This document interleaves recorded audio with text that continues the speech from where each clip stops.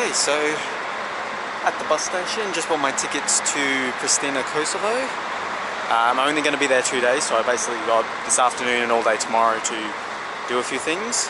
Um, yeah, I think I mentioned last time that a change to my flight meant I had to lose a day in one place, and then I've gained an extra day somewhere else, which I think has turned out for the best in a way. Because the place that I'll be going to, I'm very curious about. So anyway, I've got about an hour and a half till I get on.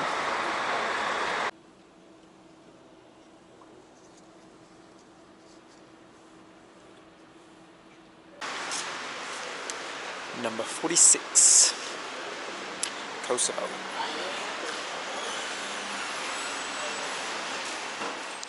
So already we've got the capital Pristina of Kosovo. So they've had a lot of rough history in the past few decades actually. Uh, it's a lot more built up than than Skopje, than some of the other places I've been. I'm only going to be here tomorrow, so probably go for a quick wander just to get some money, have a quick look around, and then um, tomorrow we'll do the proper, proper, proper stuff. That seems strange to me. I'm sure there's a reason why they got Clinton's face on a wall. Oh, if I had to take a guess, he was instrumental in becoming a country, probably? I don't know. Let's look into that.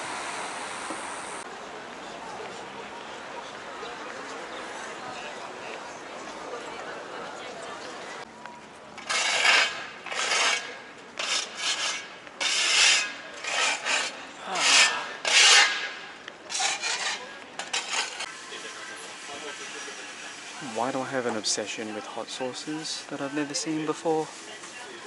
Uh, I'm resisting. Alright, so I'm gonna go for a bit of a wander around the city. I didn't really plan out a lot here. I've been feeling a bit tired after the past few days. It's just been very flat out, especially with that hiking I did. So Kosovo's Pristina was always going to be a bit of a, just a bit of a chill, relaxed time. Um, I do want to see if I can find out a bit about Kosovo itself, mainly the history that's happened in the last sort of 20 years or so. Um, so we'll go for a wander, we'll see what we can find. It's got the Mother Teresa Cathedral. So she's actually a really big figure in this region, considering this is where she was, she born, was born and grew up in the region, mainly um, Skopje.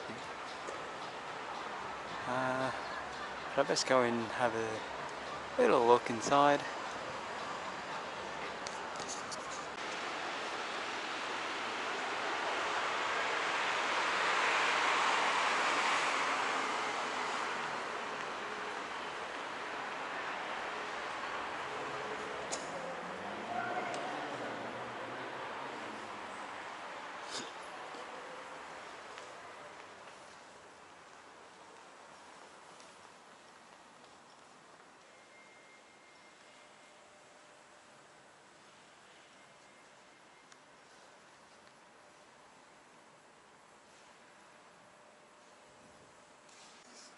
I might be wrong, but that looks new.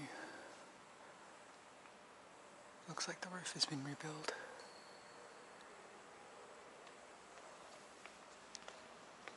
It's a beautiful, elegant design church.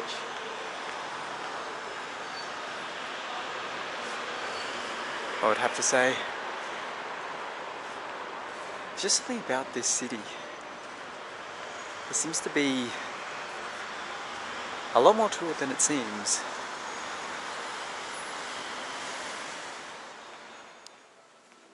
This place is completely empty. It's also not quite what I was looking for.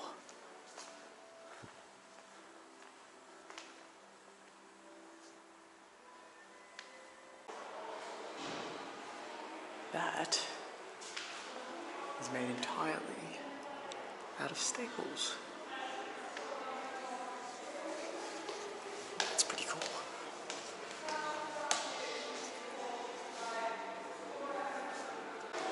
Now Kosovo is probably one of the newer countries that I've been to. I can't remember off the top of my head, but I know that they've recently had, relatively recently, in the last 20 or 30 years, I think, there's been a significant amount of wars around here.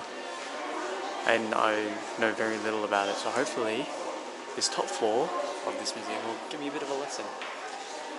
Um, I know that the Bosnian War was around the region. I don't know how much, like, the former part of Yugoslavia would have participated in that, but I am curious. So we'll see what, what I can learn and share from here. This looks like the Kosovo version of the Declaration of Independence. I'm guessing these are all of the countries that have recognised it. And look at that. There's my one. Wow. Oh. There's really not that much here. There's no information, there's plenty of artifacts, but nothing else to really show or see. It's a little bit disappointing to be honest, because the history of Kosovo is one thing that I did actually want to sort of learn about, because I know very little about the war basically that they both that they went through. Oh well, maybe that'll be my at-home project when I get back. Honestly, that had nothing. Had very, very little. So there was some random um, gallery upstairs, just a temporary one. Didn't really show me anything, so that was a bit disappointing. Um, gonna head down that way now, because I believe that there is quite a large moss that I saw in the distance from the hotel.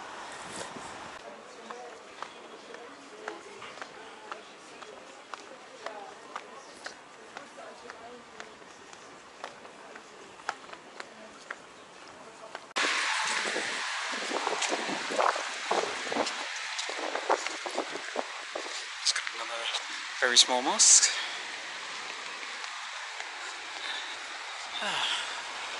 So, last night,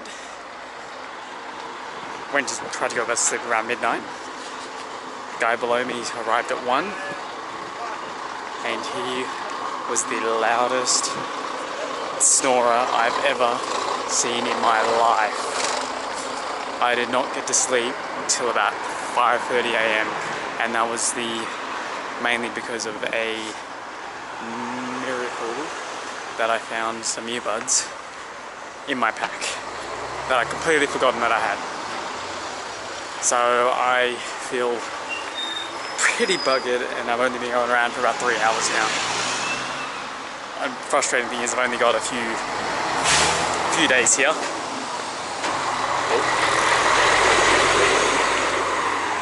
Yeah, so I've only got about two days here, so probably just going to be doing a bit of editing when I get back and sort of a, try and experience a bit more of Kosovo tomorrow even though I've got a bus leaving later that night.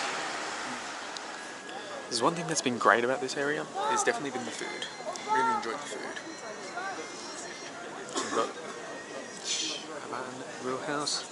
Not too sure what it is mostly, but it tastes good. Now Kosovo was always going to be a bit of a sort of a laid-back, quiet one. I needed a place to sort of chill out, considering how busy I'm going to be the next few days or next week.